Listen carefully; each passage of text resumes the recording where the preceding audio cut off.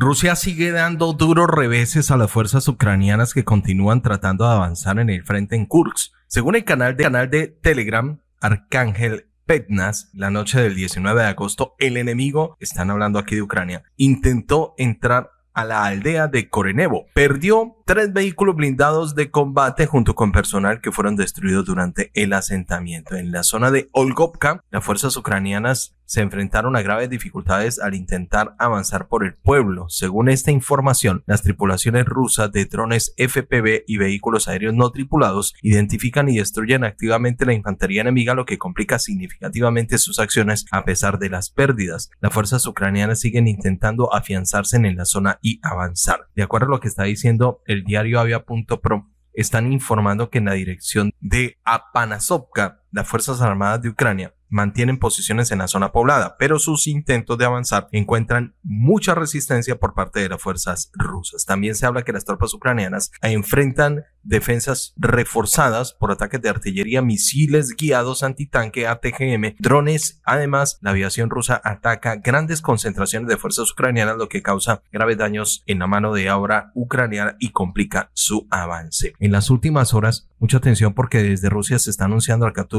de 19 militares ucranianos en Kursk. Las fuerzas rusas capturaron a 19 militares ucranianos durante la defensa de la región rusa de Kursk de la ofensiva de Ucrania, informó este lunes la agencia estatal Riano Bosti. Según el medio eslavo, los prisioneros fueron capturados por los marines de una de las agrupaciones de la flota del Mar Negro, que fueron trasladados al frente en Kursk tras el inicio de la ofensiva ucraniana que hoy ya hace dos semanas. Los militares forman parte de la 22 Brigada Motorizada de las Fuerzas Armadas de Ucrania. Hace dos días en Kursk se rindieron otros 24 soldados ucranianos, según las fuentes militares rusas. Según el Ministerio de la Defensa de Rusia, ha entregado un nuevo parte sobre lo que está sucediendo en Kursk y en todas las líneas del frente ucraniano. Un caza ruso Su-34 destruyó un sistema de misiles antiaéreos S-300P de las Fuerzas Armadas de Ucrania en la localidad de Bonoye, en la región de Kharkov. El avión de las Fuerzas Aeroespaciales rusas usó bombas aéreas modernizadas FAB-500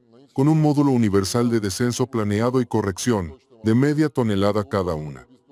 Al asegurarse de la destrucción de los objetivos, el cazabombardero regresó al aeródromo de salida. Informó este lunes el Ministerio de la Defensa de Rusia. El sistema fue detectado por medio de reconocimientos aéreos rusos y la tripulación del Su-34 disparó un misil teledirigido KH-35 contra el S-300P. En video del ataque se puede ver la explosión del sistema ucraniano y una columna de humo negro que se eleva hacia el cielo. El desplazamiento del equipo bélico fue detectado durante unas actividades de reconocimiento. El ataque fue realizado con munición de barrera tras un análisis de datos de reconocimiento obtenidos previamente. Las imágenes de control objetivo obtenidas en tiempo real demostraron la destrucción de la máquina de ingeniería. Los intentos de los operadores de la máquina por extinguir el fuego no tuvieron éxito. Ahora, señoras y señores, un gran revés en las últimas horas ha sufrido las fuerzas de Zelensky y la OTAN en la región de Sumi. Según lo que estamos viendo a través del diario mk.ru, se establece que el pánico fue total en la región de Sumi que está contigua a Kursk, en la frontera. Según lo que ha declarado el coronel Matvinchuk, ha dicho en las últimas horas que Rusia golpea el tumor de Ucrania en la región de Sumi. La artillería rusa envió ataques precisos y letales. Al parecer sigue la búsqueda en Sumi, una zona que estuvo relativamente tranquila por la cantidad de ataques recibidos en medio de la invasión rusa a Ucrania y que ahora con la incursión en Kursk de las fuerzas ucranianas, esto prácticamente se ha vuelto un invierno. Los informes desde el terreno es que allí hay pánico en la región. Todos los días los helicópteros de las fuerzas rusas transitan a baja altura eliminando a oficiales de la OTAN que han caído bajo el fuego. Aquí se refiere al fuego ruso. Y para los que no tuvieron tiempo de salvarse, pues están buscando los blindados con cámaras frigoríficas por toda la ciudad. Los detalles los da a conocer el analista militar diciendo que hace pocos días en un búnker habían oficiales de la OTAN que estaban coordinando los combates en la región de Kursk y este fue aniquilado. Allí no debería haber escalado, dice el experto, aduciendo de que Ucrania nunca debió haber tomado esta decisión de ir a buscar los terrenos en Kursk. La nota dice que el coronel retirado Anatoly Matbuk le dijo a mk.ru que en la ciudad de Sumi allí hay fuerzas que se concentran y en estos momentos las fuerzas ucranianas y aeroespaciales le están prestando tanto la atención al ejército ruso que, ojo, dice que no solo Rusia está noqueando al enemigo que se ha sentado en los bosques de la región de Kursk, sino que también inflige golpes fatales allí en Sumi. Allí en Kursk la situación Estamos hablando del viernes. Se conocieron los detalles de uno de estos ataques que cayó en la planta biológica de Sumi. El 11 de agosto, según están reportando algunos informes, un equipo en un búnker subterráneo en el que se escondían militantes de las unidades de la Dirección Principal de Inteligencia de Ucrania y mercenarios extranjeros. Según datos preliminares, allí cayeron unos 40 oficiales de la OTAN y también se hablan de mandos medios. Este golpe resultó ser catastrófico para el enemigo debido a la falta de oficiales en el cuartel general. El artículo sigue diciendo que allí tratan de proteger a los militantes de alto rango de la OTAN. Los esconden en estos refugios hasta que las coordenadas son conocidas por la inteligencia rusa. También se habla que los cuerpos de algunas unidades militares por los que el mando de las Fuerzas Armadas de Ucrania no se compadece, suelen ser sacados con coches con cámaras frigoríficas que por cierto son muy escasas. Así en Sumi cada vez más hay llamados que piden a los propietarios con coches de cámaras frigoríficas para el transporte de estos cuerpos que respondan además los automóviles informan a los observadores viales se necesita sangre, electricidad, gas y sucesivamente allí escasean después de estos poderosos ataques que han infligido con bombas y misiles guiados precisos por parte de las fuerzas aeroespaciales rusas que han impactado en los últimos días o en las últimas horas allí en Sumi. Vamos a avanzar desde la cartera castrense en Rusia. Se habla que el grupo de combate ruso Centro liberó el pasado primero el asentamiento de Artyomovo llamado Salisnoy en Ucrania, allí en la República Popular de Donetsk, informó el lunes el Ministerio de la Defensa de Rusia. Se habla que la acción fue llevada a cabo por el Grupo de Combate Sur de Rusia que liberó el pasado o la pasada jornada la estación ferroviaria de Villemka en la República Popular de Donetsk, ha informado la cartera castrense. Según el ministerio, las unidades del Grupo de Batalla Sur mejoraron su posición táctica y liberaron la estación ferroviaria de Villemka allí en Donetsk. También se habla, y esto pues están hablando de todas las líneas del frente, ¿no? El grupo de batalla norte de Rusia infligió, infligió aproximadamente 170 bajas a las tropas ucranianas y destruyó un tanque enemigo y dos vehículos de combate de infantería en la región de Kharkov durante el último día, explicó el ministerio. También el grupo de combate oeste de Rusia ganó terreno, repelió dos ataques ucranianos e infligió aproximadamente 535 bajas a tropas enemigas en su área de responsabilidad durante el último día, informó el ministerio. Las pérdidas del ejército ucraniano en esa zona del frente durante las últimas 24 horas, dice el informe que ascendieron a 535 efectivos, dos tanques, tres vehículos de combate de infantería, siete vehículos blindados de combate COSAC, cinco camionetas, un obús M198 de 155 milímetros de fabricación estadounidense. También se habla de un sistema de artillería autopropulsado Akaxilla de 152 milímetros y un sistema de artillería motorizada Bobsditka de 122 milímetros precisó. Las fuerzas rusas atacaron también personal y material ucraniano en 147 áreas durante el último día, informó el ministerio. Según lo que dice el eh, ente castrense, los aviones operativos y tácticos, los vehículos aéreos no tripulados y las tropas de misiles y la artillería del grupo de la fuerza rusos atacaron grandes cantidades de personal y equipo militar del enemigo en 147 lugares. Asimismo, se está hablando que las fuerzas de defensa aérea rusas derribaron 49 vehículos aéreos no tripulados ucranianos, 26 cohetes del sistema de lanzamiento múltiple HIMARS y de fabricación estadounidense durante el último día, informó el ministerio. Según la nota que está entregando el ente castrense a esta hora, eh, se dice que las capacidades de la defensa aérea derribaron una bomba aérea guiada Hammer de fabricación francesa, 26 cohetes HIMARS de fabricación estadounidense y 47 vehículos aéreos no tripulados, dijo el ministerio. En total, entregan las cifras de lo que va de recorrido en las últimas horas. Dice que las Fuerzas Armadas de Rusia han destruido 639 aviones de guerra ucranianos, 282 helicópteros, 30.161 vehículos aéreos no tripulados, 575 sistemas de misiles tierra-aire, 17.340 tanques y otros vehículos blindados de combate, 1.412 lanzacohetes múltiples, 13.415 cañones de artillería de campaña y morteros y 24.919 vehículos militares especiales desde el inicio de la operación militar especial, dijo el ministerio en las últimas horas. También mucha atención porque medios eslavos están informando que en las últimas horas, en las últimas 24 horas, varios asentamientos en la región de Belgorod han sido objeto de bombardeos y ataques con drones como resultado. Según esta información, tanto la infraestructura civil como la población sufrieron daños. Los bombardeos se registraron en el distrito de la ciudad de Graiboronsky, en el distrito de Krasnoyarsuski, en la ciudad de Chevekino, en el distrito urbano de Graiboronsky durante nueve bombardeos y tres ataques con drones contra la ciudad de Graiborón, la aldea de Gorkovsky y las aldeas de Benzimeno, Dronovka y Kosinka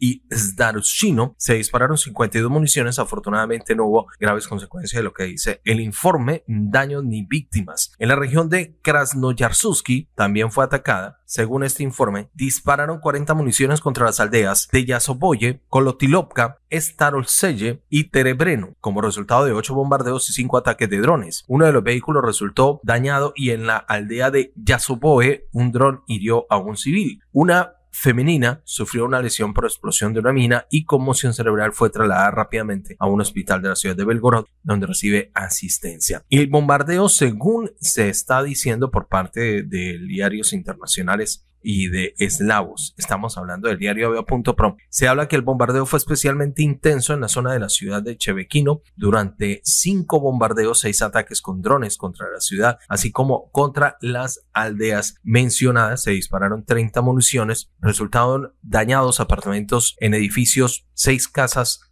particulares y dos automóviles tres civiles resultaron con lesiones. De otro lado, se dice que las fuerzas rusas lanzaron ataques precisos contra objetivos militares ucranianos donde se produjeron grandes explosiones en un almacén estratégico de municiones de artillería. Se habla que se dio este panorama en la zona de Pavlograd y también se dice que en el reporte del Ministerio de Defensa de Rusia, la artillería destruyó un edificio de colaboradores de la OTAN en la capital ucraniana. Los militantes del bloque militar acababan de desembarcar en Ucrania antes de que los rusos accionaran el botón de los misiles. Según los expertos, tras el ataque de la Federación no existía ninguna posibilidad de que nadie se salvara. El ataque fue ordenado por el ejército de Rusia en el amanecer de las últimas horas y fueron sorprendidos cuando estaban durmiendo y lamentablemente sucumbieron ante los misiles rusos que accedieron a su ubicación y los atacaron sin opción de la huida. Las fuerzas ucranianas en las últimas horas están diciendo que atacaron el último puente permanente sobre el río Seim en el pueblo de Karis, región de Kursk. Así lo informó el analista militar Yuri Podolyaka. Según él, el grupo ruso en la zona que depende ahora completamente de los cruzos, pontones para apoyar sus operaciones. A pesar de esto, las tropas rusas conservan la capacidad de disuadir eficazmente los ataques enemigos, especialmente en el contexto de la evacuación de la población local. La destrucción del puente completó una serie de ataques a infraestructuras críticas de la zona, complicando la logística y el suministro de las tropas rusas. Sin embargo, como subraya el analista Podolyaka, la transición al uso de paso de pontones satisface plenamente las necesidades eh, necesarias para llevar a cabo operaciones de combate y disuadir ataques de las Fuerzas Armadas de Ucrania. En la mañana del 19 de agosto se produjo una explosión en una planta petroquímica en Sterlitamak, en Basquiria, que hirió a dos personas, según datos facilitados por BASA. El incidente se produjo sobre las 11 y 20 horas durante los trabajos programados en el oleoducto, como consecuencia del impacto resultado resultó herido uno de los empleados, así como otra persona cuya identidad se está determinando. Ambas personas fueron trasladadas de inmediato a centros médicos para brindarles asistencia necesaria. Por el momento, hasta la hora que estamos grabando el video, se desconocen las causas exactas de la explosión, pero las autoridades competentes ya han iniciado una investigación sobre el incidente contrario a la versión que se está manejando por redes sociales de que esto podría haber sido un ataque ucraniano. Hasta la hora que estamos grabando este video no había información al respecto. Ucrania expande su ofensiva en Kursk y trata de aislar y tomar Gluskovo. Es un informe que está entregando el Ministerio de la Defensa de Ucrania.